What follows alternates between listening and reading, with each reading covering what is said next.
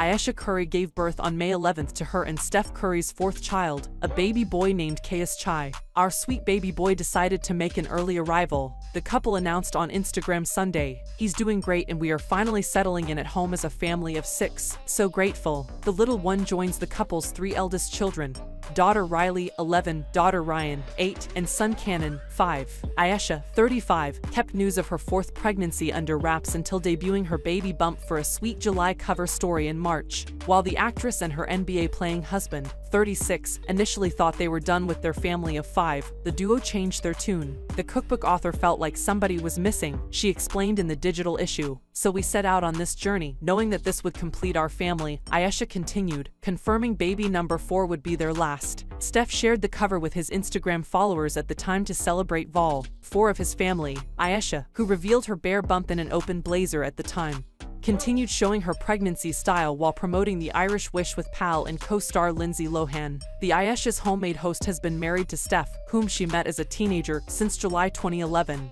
The duo became parents in July 2012 when Riley was born, followed by Ryan and Canon in July 2015 and July 2018, respectively.